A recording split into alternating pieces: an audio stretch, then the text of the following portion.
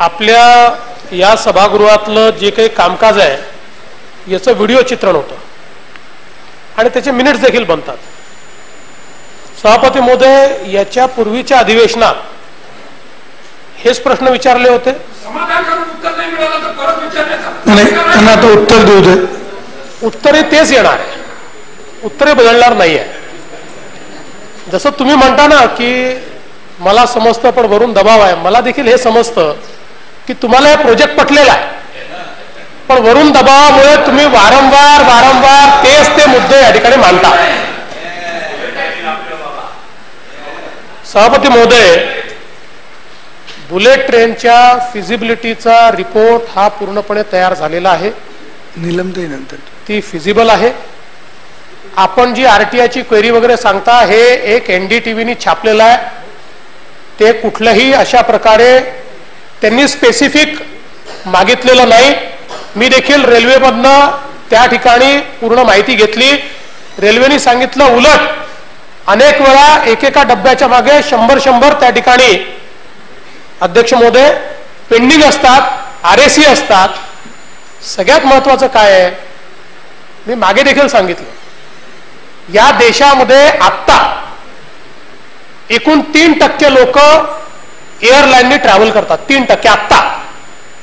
आणि जेव्हा आपण एअरलाईनची सुरुवात केली आणि ज्यावेळेस आपण एवढे एअरपोर्ट बांधले त्यावेळी एक टक्का लोक देखील एअरलाईननी त्या ठिकाणी ट्रॅव्हल करत नव्हते.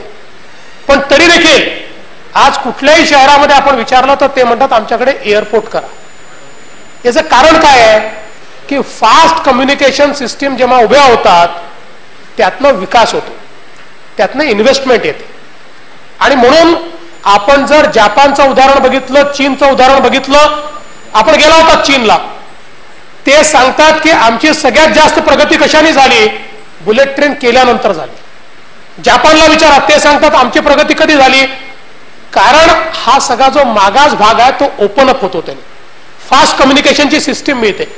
आज पालघर सारख्या जिल्ह्यामध्ये मुंबईपासून किती किलोमीटरवर पालघर? का कुपोषण आहे तिथे? इतक्या जवळ पालघर आहे. कम्युनिकेशन हा त्यातला महत्त्वाचा विषय असतो. फास्ट ट्रान्सपोर्टेशन हा त्यातला महत्त्वाचा विषय असतो. आपण ज्या प्रकारे तीन टक्के लोक केवळ वापरत असताना एक लाख नाही पाच सहा लाख कोटी रुपयाची गुंतवणूक त्यापेक्षा जास्त दहा लाख कोटी रुपयाची गुंतवणूक ही एअरलाइन्समध्ये केली ना? आणि अजूनही करतोय. याचं कारण असं आहे की याच्यातलं विकासाकरता दालन हे तयार होतं. आज रेल्वेचा उपयोग तर त्यापेक्षा कितीतरी जास्त पट लोक करतात. आणि याही संदर्भात बुलेट ट्रेनच्या संदर्भात हे क्लिअर करण्यात आलं आहे की त्याचे फेअर देखील हे पहिले दहा वर्ष हे कमी असणार आहे. आता याच्यामध्ये आपण जे म्हणता सगळ्यात महत्वाचं काय आहे? एक लाख कोटी रुपयाची जी काही इन्व्हेस्टमेंट आहे आपलं सरकार आणि गुजरातचं सरकार यांना फक्त इक्विटीत पैसे द्यायचे बाकी याचा डेट कंपोनंट जो आहे या डेट कंपोनंट हा सगळा जी सेंट्रल फिस्कल स्पेस आहे त्या फिस्कल स्पेसमध्ये ऍडजस्ट होणार आहे. आपल्या फिस्कल स्पेसमध्ये ती ऍडजस्ट होणार नाही आहे. सेंट्रल फिस्कल स्पेसमध्ये ती ऍडजस्ट होणार आहे. आणि आपण विचार केला अर्धा टक्क्यापेक्षा कमी पैसे. हे आपल्या इथे एक लाख कोटी रुपये इन्व्हेस्ट झाल्यानंतर हा काही टेक्नॉलॉजी ट्रान्सफरचा प्रोजेक्ट आहे. हा त्यांनी बांधायचा प्रोजेक्ट नाही आहे या प्रोजेक्ट मधलं सगळ्यात महत्वाचं कंपोनंट काय आहे? टेक्नॉलॉजी ट्रान्सफर त्यामुळे याची संपूर्ण निर्मिती शंभर टक्के निर्मिती भारतात होणार आहे. भारतात निर्मिती जर होत असेल एक लाख कोटी रुपयाची गुंतवणूक ही पॉईंट फाईव्ह टक्क्यापेक्षा कमी दराने आणि पन्नास वर्षाचं कर्ज ही जर गुंतवणूक होणार असेल रूळ बनवण्याकरता लोखंड कोणाचं लागेल? सिमेंट कोणाचं लागेल? डब्बे कोणाचे तयार होतील? रोजगार कोणाला मिळेल? जीडीपी ग्रोथ कोणाची होईल? ही सगळी भारताची होणार आहे. ऍट द एक्सपेन्स ऑफ आज मला सांगा भारतामध्ये एक लाख कोटी रुपये गुंतवायचे असतील तर आज जवळजवळ आपल्याला त्याची कॉस्ट अकरा टक्क्याची येते इलेव्हन पर्सेंट किंवा थर्टीन पर्सेंटची कॉस्ट येते. थर्टीन पर्सेंटच्या कॉस्टच्या ऐवजी जर पॉईंट फाईव्ह पर्सेंटमध्ये एक लाख कोटी रुपये गुंतवून या ठिकाणी हे काम होणार असेल तर मला असं वाटतं की यातनं आपली जीडीपी ग्रोथ होणार आहे.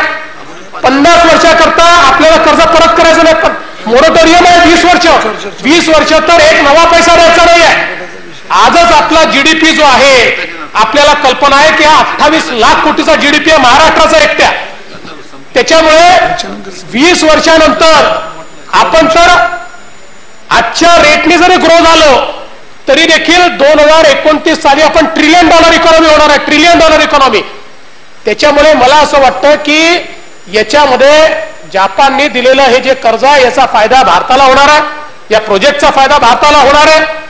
आणि या व्यतिरिक्त आपण जे विचारलं शेतकऱ्यांचं याच्यात कमीत कमी नुकसान या करताय की या ठिकाणी एलिव्हेटेड हा मार्ग आहे. आणि बराचसा मार्ग हा अंडरग्राऊंड आहे. त्यामुळे शेतीवर त्याचा कुठलाही दुष्परिणाम नाही आहे आणि म्हणूनच शेतकऱ्यांची चर्चा चालू आहे. शेतकरी कन्सेंट त्यात देत आहेत जे देत आहेत त्यांचा कन्सेंट आपण घेतोय. आणि एलिव्हेटेड असताना देखील आपण त्यातला फॉर्म्युला असा काढला की पुलाखाली जर जमीन गेली शेती करता येईल. त्याचेही पैसे आपण देणार आहोत. म्हणजे नुसत्या खांबाचे पैसे नाही.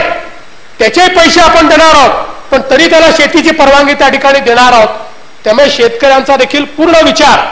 आणि मला सांगा संजय दत्त साहेब आपण सांगता आपल्या सरकारच्या काळात एवढे प्रोजेक्ट केले तर फुकटात दिल्या का जमिनी शेतकऱ्यांनी? आपण ॲक्वायरच केल्या. एक्वायर आपल्या काळात गोळीबार झाले आहेत. गोळीबार. आणि आपल्या माहिती करता आम्ही तर कायद्याचा अवलंब नाही केला.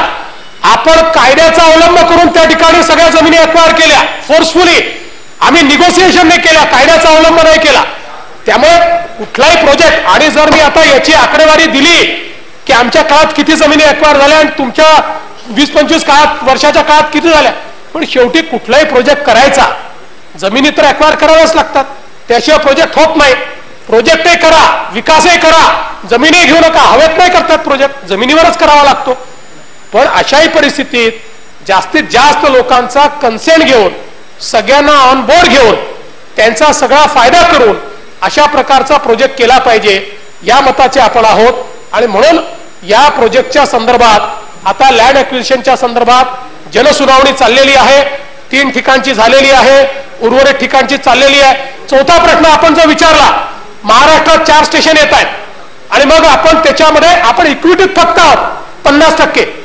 आणि हात जर निकष लावला तर कोकण रेल्वेचा सगळ्यात जास्त फायदा कोणाला झाला? महाराष्ट्राला झाला ना? पण कोकण रेल्वेमध्ये महाराष्ट्र कर्नाटक केरळ सगळ्यांनी तेवढेच पैसे दिले. गोवा हा गोवा.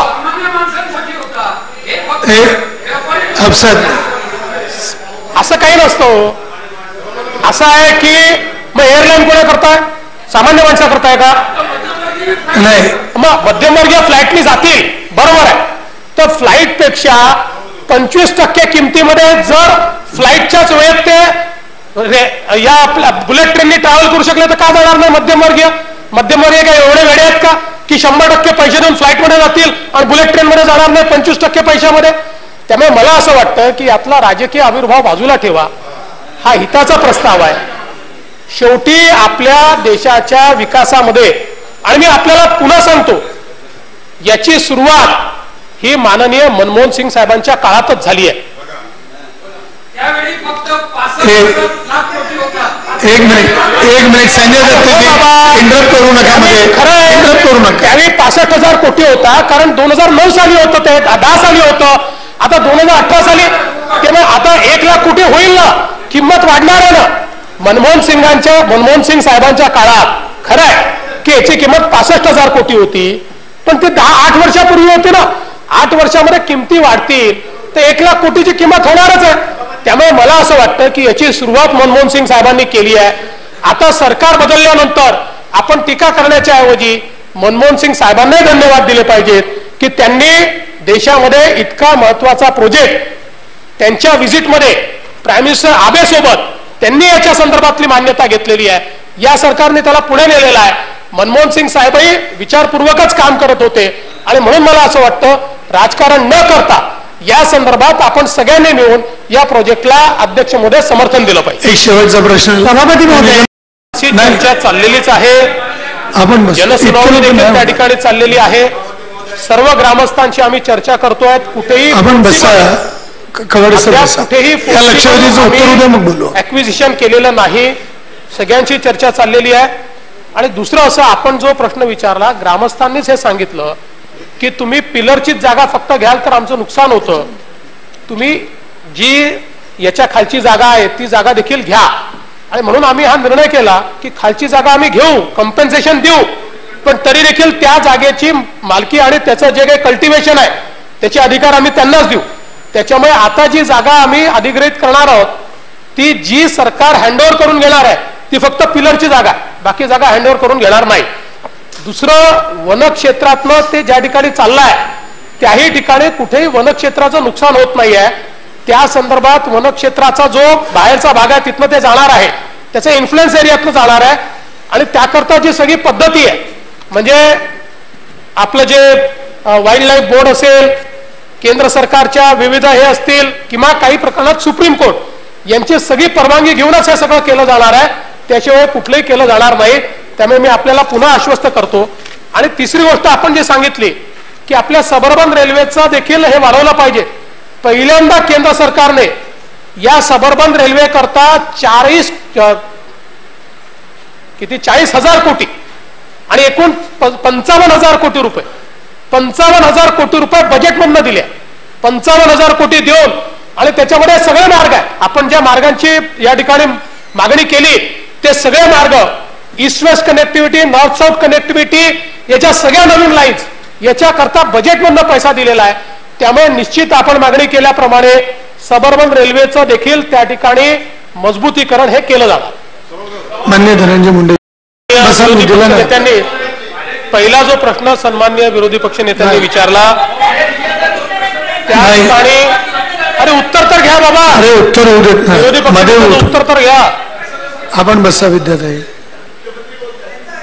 पहिला जो प्रश्न सन्मान्य विरोधी पक्ष नेत्यांनी विचारला मी आपल्याला पुन्हा आठवण करून देतो की समृद्धी महामार्गाचं ज्यावेळेस आम्ही त्या ठिकाणी जमिनी घेणं सुरू केलं त्याही वेळी ग्रामसभांनी विरोध केला होता. त्या ग्रामसभांची आम्ही चर्चा केली आणि त्यातल्या अनेक ग्रामसभांनी ठराव करून आमची सगळी जमीन घ्या. अशा प्रकारचा काउंटर ठराव त्या ठिकाणी करून दिला. त्यामुळे आता ग्रामसभांची किंवा ग्रामस्थांची काही प्रकरणात ग्रामसभांची चर्चा करावी लागते काही ठिकाणी आपल्याला ग्रामस्थांची चर्चा करावी लागते. ती सगळी चर्चा वगैरे हे जे काही सगळं आहे ते चाललेलं आहे. जनसुनावणी चाललेली आहे. जी काही प्रोसेस आहे त्या ड्यू प्रोसेस प्रमाणेच हे सगळं काम चाललेलं आहे. आणि मी आपल्याला सांगतो की नऊ लाखाकरता काय अकरा लाखची आसू वगैरे काळजी करू नका. मोदीजींचं सरकार असं आहे की महाराष्ट्राने नऊ लाख मागितले तर अकरा लाख ते देतात. असे सरकार आहे. कालच आपण बघितलं इरिगेशनचे सगळे प्रोजेक्ट पूर्ण करण्याकरता अभूतपूर्व न भूतो न भविष्यती अशी मदत ही केंद्र सरकारने आपल्याला जाहीर केली आहे. त्यामुळे महाराष्ट्राचं हित लक्षात घेऊनच हे सगळं केलं जाईल. आणि वन जमिनीच्या संदर्भातली प्रोसिजर ही सगळ्या प्रोजेक्ट करता सारखीच आहे. त्या प्रोसेसप्रमाणेच ती प्रोसिजर चाललेली आहे. आणि ती आपल्याच राज्याला करावी लागते आणि मग केंद्राकडे पाठवावी लागते. त्यानुसार ती केली जाते. आहे पण एक गोष्ट निश्चित आहे की गेल्या तीन वर्षामध्ये केंद्राच्या एन्व्हायरमेंट आणि फॉरेस्ट मिनिस्ट्रीने आपले जेवढे प्रस्ताव पाठवले ते सगळे क्लिअर केले आता आपले कुठले प्रस्ताव त्या ठिकाणी पेंडिंग नाही आहे वेगानं काम त्या ठिकाणी होत आहे. त्यामुळे आपण ज्या प्रकारे अपेक्षा व्यक्त केली आहे या प्रस्तावासहित सगळ्या प्रस्तावांना गती दिली तो पहिल्या अलाइनमेंटच्या संदर्भातला विषय मांडला. एक एक डहाणू पासून नाशिक पर्यंत ही महत्वाचीच अलाइनमेंट आहे. या संदर्भात राज्य सरकारने केंद्राला शिफारस केली आहे. आणि ती अलाइनमेंट देखील केंद्रीय रेल्वे मंत्रालयाने घ्यावी अशा प्रकारे राज्य सरकारने सुचवल्या. निश्चितपणे आम्ही ती देखील घेऊ.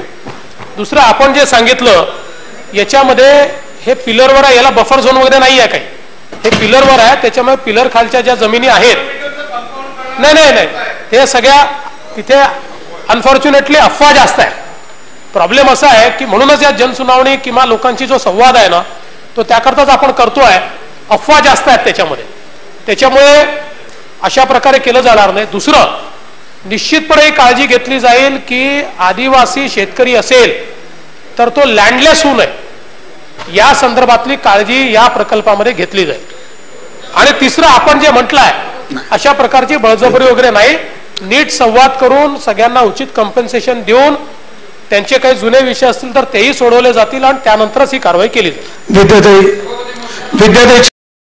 लोकल ट्रेनच्या सुधारणेच्या संदर्भात या बजेटमध्ये पैसे दिले आहेत. आता पैसे दिले की एका दिवसात तर सुधरत नाही ना. त्याचा कार्यक्रम आपल्याला हाती घ्यावा लागतो.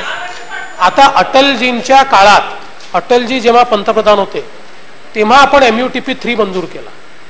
ज्याचं पूर्णत्वाला काम आता गेलं. मुंबईमध्ये काम करत असताना शेवटी आपल्याला कल्पना आहे की ॲडिशनल रूट टाकायचे जागा अधिग्रहित करावी लागते जी मुंबईमध्ये उपलब्ध नसते त्याच्यातनं मग मोठ्या प्रमाणात रिसेटलमेंट करावं लागतं. आताचा जो कार्यक्रम आहे याच्यामध्ये एक्झिस्टिंग इन्फ्रास्ट्रक्चरचं अपग्रेडेशन देखील आहे सरकते जिने देखील आहेत प्लॅटफॉर्मचं अपग्रेडेशन देखील आहे नवीन लाईन टाकणं देखील आहे एलिव्हेटेड लाईन कारण आपल्या इथे राईट ऑफ वेचा प्रॉब्लेम असल्यामुळे एलिव्हेटेड लाईन टाकणं देखील आहे. आता याला बजेटमध्ये मान्यता मिळाल्यानंतर त्याचे आराखडे तयार होणं त्याच्यामध्ये टेंडर होणं त्याचं काम होणं. पहिल्यांदा आतापर्यंत एवढे पैसे कधी मिळाले नव्हते ते पैसे मिळाले आहेत. त्यामुळे निश्चितपणे हे जे काम आहे हे काम होईल. आणि याच्या एन्व्हायरमेंटल इम्पॅक्टच्या संदर्भात आपण जे म्हणालात त्या संदर्भात कंप्लीट एन्व्हायरमेंटल इम्पॅक्ट अनालिसिस त्याचा केला जातोय. त्यानुसार विविध टप्प्यांवर त्याची मान्यता घ्यावी लागते. मँग्रोव्हची असेल तर हायकोर्टातनं घ्यावी लागते. वृक्षांच्या जंगलाची असेल तर सुप्रीम कोर्टातनं घ्यावी लागते. त्या सगळ्या फोरम पुढे जाऊन जोपर्यंत सस्टेनेबल प्रपोजल जाणार नाही तोपर्यंत हायकोर्टही मान्यता देत नाही आणि सुप्रीम कोर्टही मान्यता देत नाही. त्यामुळे या सगळ्या प्रोसेस पूर्ण केल्या जातील. मगच हे काम होणार आहे. माननीय लक्ष